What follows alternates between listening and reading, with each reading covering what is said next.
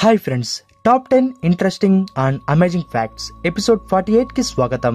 ఈ వీడియోలో మనం బ్రెయిన్ సర్జరీలో వాడే మైక్రోబోట్స్ గురించి మూన్ ట్రీ గురించి మార్స్ జెండా అలాగే మార్స్ సూర్యగ్రహణం గురించి ఇక చివరిగా పంతొమ్మిది వందల డెబ్బై ఆరులో బీబీసీ వాళ్ళు చేసిన ఒక ప్రాంక్ గురించి తెలుసుకోబోతున్నాం. చూస్తూనే ఉండండి Tushar tech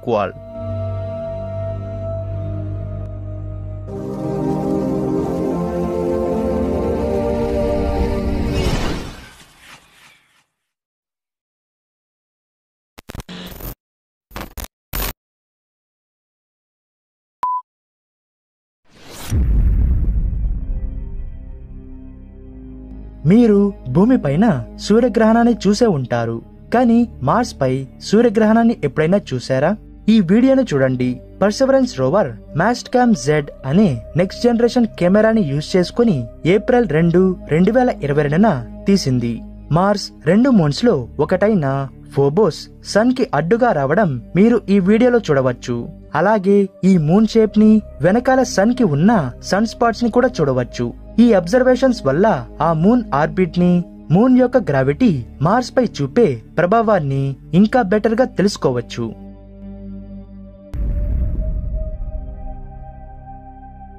One zero one double nine చెరిక్లో. ఇది సాటన్కి ఒరైనస్కి మధ్యలో తిరిగే ఒక ఆస్ట్రాయిడ్ దీని డయామీటర్ రెండు వందల యాభై కిలోమీటర్ల వరకు ఉంటుంది. దీనిని ఫిబ్రవరి పదహైదు పంతొమ్మిది వందల తొంభై ఏడులో కనుగొన్నారు. ఇక్కడ ఆశ్చర్యం కలిగించే విషయం ఏంటంటే ఈ ఆస్ట్రాయిడ్కి రెండు రింగ్స్ ఉన్నాయి. మొదటి ring six point nine kilometres వెడల్పుతో ఉంది. ఈ రింగ్కి ఓయాపర్క్ అని పేరు పెట్టారు రెండవ ring zero point one two కిలోమీటర్ల వెడల్పుతో ఉంది దీనికి చూవీ అనే పేరు పెట్టారు ఇలా రింగ్స్తో ఉన్న ఒక ఆస్ట్రాయిడ్ని కనిపెట్టడం ఇదే మొదటిసారి ఈ రింగ్స్ వాటర్ ఐస్తో తయారై ఉంటుందని అంచనా వేశారు దీనికి రింగ్స్ ఉండడంతో కొంతమంది దీనిని డ్వాఫ్ ప్లానెట్ అని కూడా అంటున్నారు. వీటిని చూడండి. ఇవి చిన్న సైజులో ఉండే రోబోట్స్. ఇవి త్వరలోనే బ్రెయిన్ సర్జరీలో ఒక పెద్ద మార్పును తీసుకురాబోతున్నాయి. వీటిని కాలిఫోర్నియాకి చెందిన బయోనాట్ ల్యాబ్స్ తయారు చేసింది. ఇవి మెయిన్గా బ్రెయిన్ ట్యూమర్ ఉన్న వాళ్ళకి డాండీ వాకర్ సిండ్రోమ్. అంటే మన బ్రెయిన్కి వెనక కింద భాగంలో ఉన్న సెరబెల్లం అనే పార్ట్లో ఫ్లూయిడ్స్తో నిండి ఉన్న గెడ్డలు తయారవుతాయి. వీటిని క్యూర్ చేయడానికి ఈ రోబోట్స్ని వాడనున్నారు. ఇవి ఎలక్ట్రోమాగ్నెట్స్తో రన్ అవుతాయి. ఈ మైక్రోబోట్స్ మెటల్తో తయారై సిలిండ్రికల్ షేప్లో ఒక బియ్యపు గింజంత సైజ్లో ఉంటాయి. వీటి ముందర ఒక షార్ప్ ఎడ్జ్ కూడా ఉంటుంది. ఎలక్ట్రోమాగ్నెట్స్ నుండి వచ్చే మ్యాగ్నెటిక్ ఫోర్స్ వల్ల ఇవి బ్రెయిన్లో మూవ్ అవుతాయి. ఇలా బ్రెయిన్లో మనం వెళ్ళలేని చోట్లకు కూడా ఈ రోబోట్స్ వెళ్ళగలవు. ఆ ట్యూమర్ని రీచ్ అయ్యాక దాని షార్ప్ ఎడ్జ్తో ట్యూమర్ని పొడిచి అందులో ఉన్న ఫ్లూయిడ్స్ని బయటకు తీస్తుంది. అలాగే దీనితో బ్రెయిన్ క్యాన్సర్ ట్యూమర్కి కూడా డైరెక్ట్గా డ్రగ్స్ని ఆ ట్యూమర్ కే అందించవచ్చు. దీనివల్ల క్యాన్సర్ మెడిసిన్స్ ద్వారా మన బాడీకి వచ్చే సైడ్ ఎఫెక్ట్స్ తగ్గుతాయి. ఇవి ఎలక్ట్రోమాగ్నెట్స్తో రన్ అవ్వడం వల్ల మన బాడీకి కూడా ఎటువంటి హాని ఉండదు. బయోనాట్ ల్యాబ్స్ ఆల్రెడీ గొర్రెలపై పందులపై ఈ రోబోట్స్తో సక్సెస్ఫుల్గా టెస్టులు జరిపింది. ఇక త్వరలోనే హ్యూమన్ ట్రయల్స్ని స్టార్ట్ చేయనుంది.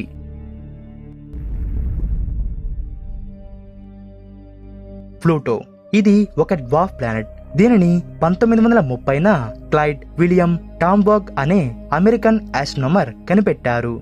ఈయన జ్ఞాపకార్థంగా అతని అస్థికలను ఒక అల్యూమినియం క్యాప్సూల్లో ఉంచి రెండు వేల ఆరులో ప్లూటో వద్దకు పంపే న్యూ హరైజాన్ స్పేస్ ప్రోబ్లో పెట్టి పంపారు. ప్లూటోకి అతి దగ్గరగా వెళ్ళిన స్పేస్ ప్రోబ్ ఇదే. ఈ స్పేస్ ప్రోబ్ ఇప్పుడు మన భూమి నుండి దాదాపుగా ఎనిమిది వందల కోట్ల కిలోమీటర్ల దూరంలో కైపర్ బెల్ట్లో తిరుగుతూ ఉంది. ఇది ఇంకా పనిచేస్తూ కైపర్ బెల్ట్లో ఉన్న ఆబ్జెక్ట్స్ యొక్క డేటాని కలెక్ట్ చేస్తూ ఉంది.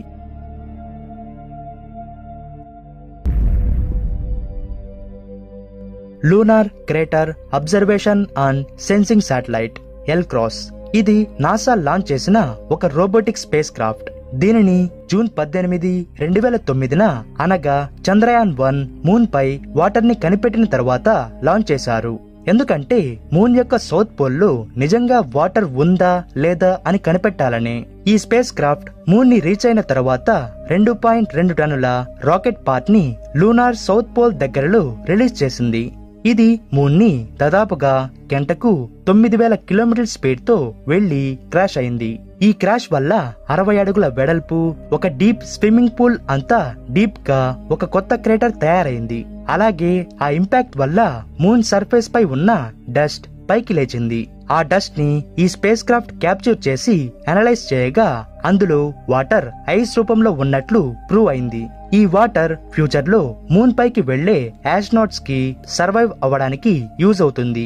ఇంకో విషయం ఈ ఇంపాక్ట్ వల్ల మూన్కి ఎటువంటి హాని జరగలేదు. ఎందుకంటే ఇలాంటి ఇంపాక్ట్స్ మూన్ పై ఎప్పుడూ జరుగుతూనే ఉంటాయి.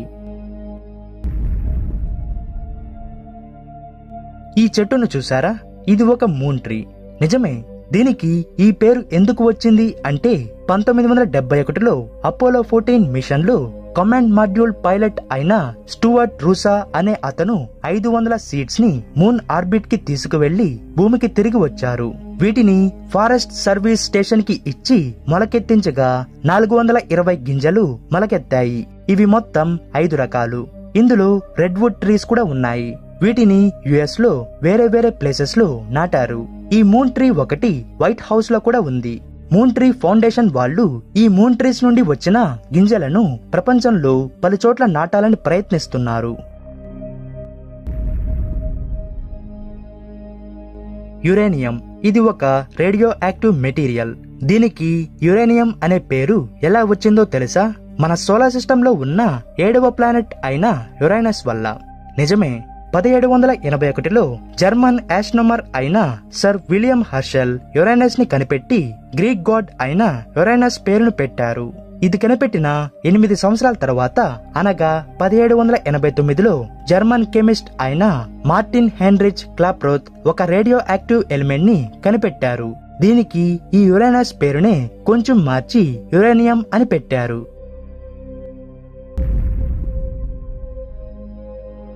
ఈ జెండాను చూసి ఏ దేశంతో కనిపెట్టడానికి ట్రై చేయండి. చాలా మంది వరకు కనిపెట్టలేరు. ఎందుకంటే ఇది మన భూమికి చెందిందే కాదు. ఇది ఒక మార్స్ ఫ్లాగ్ నిజమే ఈ ఫ్లాగ్ని నాసా థర్డ్ అడ్మినిస్ట్రేటర్ అయిన థామస్ అటన్ పెయిన్ పంతొమ్మిది వందల ఎనభై నాలుగులో తయారు చేశారు.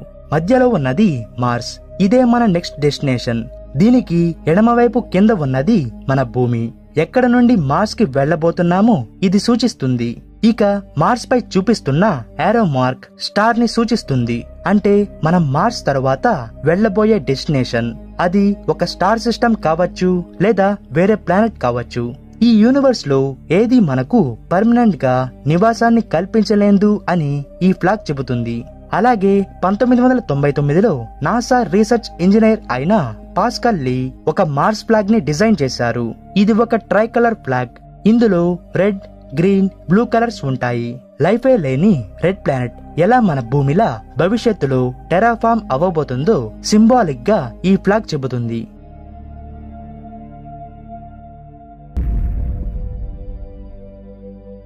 మన సన్ యొక్క మ్యాగ్నెటిక్ ఫీల్డ్ ప్రతి పదకొండు సంవత్సరాలకు ఒకసారి మారుతుందట. అంటే నార్త్ పోల్ సౌత్ పోల్గా సౌత్ పోల్ నార్త్ పోల్గా మారుతుంది. అది కూడా మన సన్ ఎక్కువ యాక్టివ్గా ఉన్నప్పుడే. ఈ మ్యాగ్నెటిక్ ఫీల్డ్ సన్లో ఉన్న ప్లాజ్మా వల్ల తయారవుతుంది. ప్లాజ్మాలో చార్జ్డ్ పార్టికల్స్ అయిన అయాన్స్ ఎలక్ట్రాన్స్ ఉంటాయి. దీని వలన ఎలక్ట్రిసిటీ జనరేట్ అవుతుంది. ఎక్కడైతే ఎలక్ట్రిసిటీ ఉంటుందో మ్యాగ్నెటిక్ ఫీల్డ్ ఖచ్చితంగా ఉంటుంది.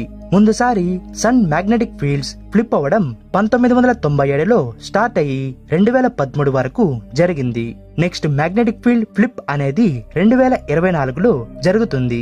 ఆ టైంలో సన్ చాలా యాక్టివ్గా ఉంటుంది. సోలార్ విండ్స్ సోలార్ ప్లేట్స్ ఎక్కువ మొత్తంలో రిలీజ్ అవుతాయి. దీనివల్ల మన భూమి చుట్టూ తిరిగే కొన్ని శాటిలైట్స్ పాడవుతాయి. మన భూమి నార్త్ పోల్ సౌత్ పోల్ దగ్గర అరోరాస్ ఎక్కువ మొత్తంలో కనపడతాయి. మ్యాగ్నెటిక్ ఫీల్డ్ని యూజ్ చేసుకుని మైగ్రేట్ అయ్యే బర్డ్స్ కొంచెం కన్ఫ్యూజన్లో పడతాయి.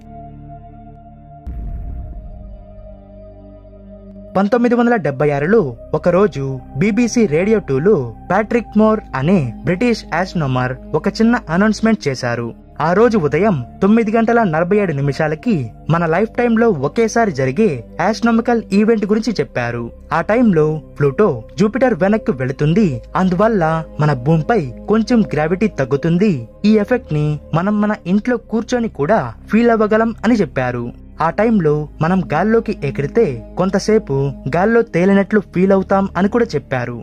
ఆ ఈవెంట్ జరిగిన ఒక్క నిమిషం తర్వాత అనగా తొమ్మిది గంటల నలభై ఎనిమిది నిమిషాలకి కొన్ని వేల సంఖ్యలో బీబీసీకి కాల్స్ వచ్చాయి. ఈ ఎఫెక్ట్ని ఫీల్ అవుతున్నామని. అందులో ఒక ఆమె చెప్పింది ఏంటంటే ఆమె ఆమె పదకొండు మంది స్నేహితులు చైర్స్లో కూర్చొని ఉంటే ఆ ఎఫెక్ట్కి గాల్లోకి లేచి అందరూ రూమ్ అంతా తేలారట. ఇంతకీ ఈ సంఘటన జరిగింది ఏ రోజో తెలుసా?